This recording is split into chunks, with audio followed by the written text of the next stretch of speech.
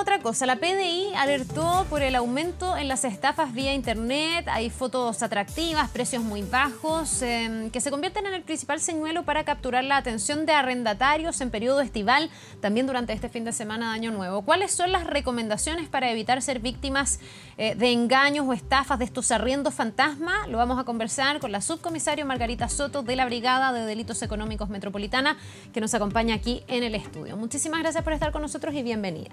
Muchas gracias a ustedes también. A ver, muchos ya habrán buscado un arriendo durante este fin de semana de Año Nuevo, por ejemplo, en el mar. Eh, otros están buscando arriendos para eh, periodo estival. Muchas veces en las noticias hemos tenido que contar historias de gente que supuestamente arrendó por internet, llegó y la propiedad no existía, la persona a la que le pagaron se fue con la plata o eh, lo que arrendaron era absolutamente distinto a lo que ellos creían. ¿Cómo evitar esto? ¿Cuáles son como las recomendaciones básicas? Efectivamente, tal como tú señalabas, este es un delito que es estacionario. Eh, se aumenta considerablemente en este periodo de fin de semana largo, fines, fiestas de fin de año y periodo estival. Y las principales mm. recomendaciones que tenemos nosotros como Policía de Investigaciones tienen relación con la verificación de los antecedentes en primera instancia.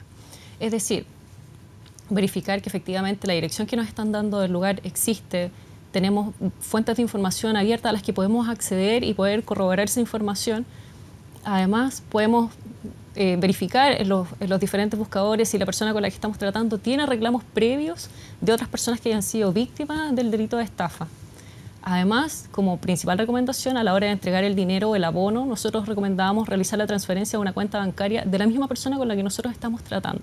Es decir, no entregar dinero en efectivo por mano ni entregar a través de un depósito de estas empresas courier. Ya, y con eso uno debiese quedar más o menos protegido. Ahora usted dice, eh, uno puede chequear eh, información, por ejemplo, de la persona que nos está arrendando. Eso lo podemos hacer a través de Google. Basta con que yo tenga el nombre de una persona para que me aparezca esa información. Muchos dirán, pero es que ¿dónde encuentro datos que pueden ser más sensibles? Pero aparecer en Google hoy día está casi todo. Efectivamente, son antecedentes que nosotros podemos encontrar en las plataformas de Internet, en diversas plataformas de Internet, debido a que las personas que son víctimas de este delito generalmente hacen sus descargos a través de redes sociales y también a través de páginas de reclamos en Internet. Entonces, con ese antecedente ya podemos, podemos saber si efectivamente esta persona con la que nosotros estamos tratando es una estafadora o no. Ya, ¿qué más debiésemos tomar en cuenta? Eh, usted me dice, por ejemplo, que el abono o la reserva se debiese hacer a la misma cuenta de la persona a la que le estoy arrendando. ¿No es mejor no abonar, eh, poner condiciones como arrendatario, decir, sabe que yo le pago cuando llegue y vea el lugar? Porque también uno se arriesga a que sea una promesa muy falsa, porque a lo mejor la dirección existe, el departamento está, pero a lo mejor está en otras condiciones o tiene otras características completamente distintas. El, tema eh, respecto del pago de este abono, lamentablemente siempre lo van a exigir las personas que están arrendando estos inmuebles, precisamente por la alta demanda que tienen en este periodo.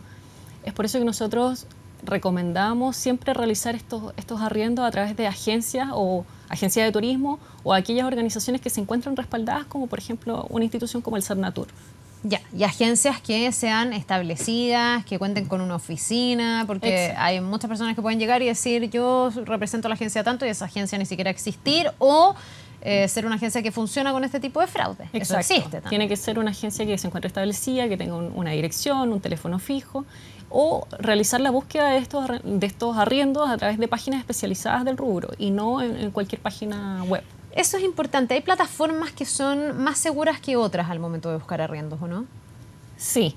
Es por, bueno, hay plataformas que son de comercio informal, en las cuales también se, se utilizan para hacer estos arriendos y es las que son principalmente utilizadas por estos estafadores. Claro, donde además se venden muebles, se intercambian cosas y ahí también en el fondo se ponen avisos de arriendo. Porque también hay plataformas que están dedicadas exclusivamente a esto. Está Airbnb, que es una plataforma de arriendo, está Booking y otras más que Además cuentan con calificación por parte de las personas, o sea, hay comentarios, de pronto hay quejas, yo me imagino que ahí uno tiene una herramienta para, Exacto. para darse cuenta que tan verídico es y para hacerse un juicio de si la propiedad es o no la que uno espera. Como tú dices, están estas páginas especializadas las cuales efectivamente tienen que tener un usuario registrado, es decir, ellos pagan un, un monto mensual para poder publicar una cantidad de avisos determinados y además también cuenta con las recomendaciones de los, de los usuarios, lo que es una herramienta súper útil a la hora de realizar una renta. En el fondo esas plataformas ya han aplicado filtros. Exacto. Ya están teniendo eh, algunas arrendadores que demuestren dar garantías. Exacto, incluso hay algunas que,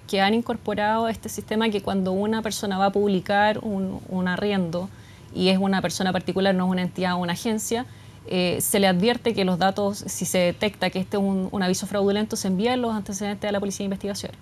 Eh, ¿Hay forma de a simple vista darse cuenta de que un aviso pudiera ser fraudulento, pienso que a lo mejor uno de los típicos señuelos o ganchos es poner precios muy baratos. Exacto. El primer, lo primero que nosotros nos tenemos que fijar es que si el, si el precio se aleja mucho del, promedio de mercado, ya tiene que... Ya es raro. Es sospechoso.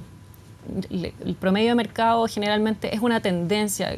Todos los, arriendos se mueven en, en un precio promedio. Si este se escapa de ese valor, yo dudaría. Claro, y alguien podría decir, pero ¿cómo yo voy a saber el promedio del mercado? El promedio del mercado se sabe viendo varios anuncios, o sea, con que tú veas cinco ya te das cuenta más o menos en qué precio están. Al momento de cotizar uno ve cuál es en el fondo el, monto promedio al que se encuentran los arriendos y si este es menor, la verdad es que solicitaría mayores antecedentes verificables en el fondo la dirección, tratar de concurrir al mismo domicilio para poder verificar con los vecinos, con los conserjes. Mm, claro, muchas veces eso no es posible. De hecho, hemos visto en las noticias de años anteriores a extranjeros que son estafados de esta forma. Recuerdo muchos casos de argentinos que en el fondo a distancia arriendan, sobre todo en los lugares que son o eran hasta hace poco los favoritos, como la quinta región o como eh, la región de Coquimbo, donde llegaban en masa y muchos hacían los arrendos a distancia.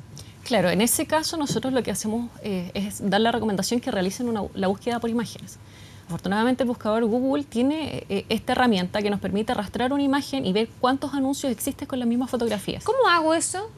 Ingreso a la página web de Google y en el costado superior derecho existe una, barra que dice imágenes.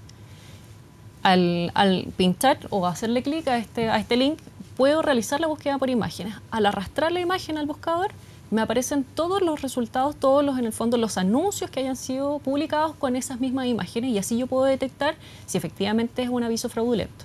¿Por qué? ¿Porque los avisos fraudulentos están en demasiadas plataformas a la vez? No necesariamente, pero las fotografías o los avisos son en diferentes locaciones siendo las mismas fotografías referenciales en el fondo. El mismo departamento se encuentra publicado en Iquique, en Viña del Mar, en Coquimbo, en La Serena. Ah, ya. O sea, se cometen estafas que en el fondo también dejan esos espacios eh, de la pesquisa porque es un poco burdo también la forma en que lo Exacto. Sí, sí. Y por lo mismo nosotros eh, hacemos el llamado para que se utilicen todas las fuentes de información a las que la persona común tiene acceso para poder verificar y tomar todas las medidas de resguardo posibles para no ser estafado. ¿A ustedes como Brigada de Delitos Económicos les llegan muchas denuncias durante los veranos de este tema en particular? La Brigada de Delitos Económicos a nivel nacional recibe alrededor de 15 denuncias solamente en el, en el periodo, en el año. Es decir, existe un, gran número de personas que se ven afectadas por este delito y que no concurren a denunciar por diferentes motivos.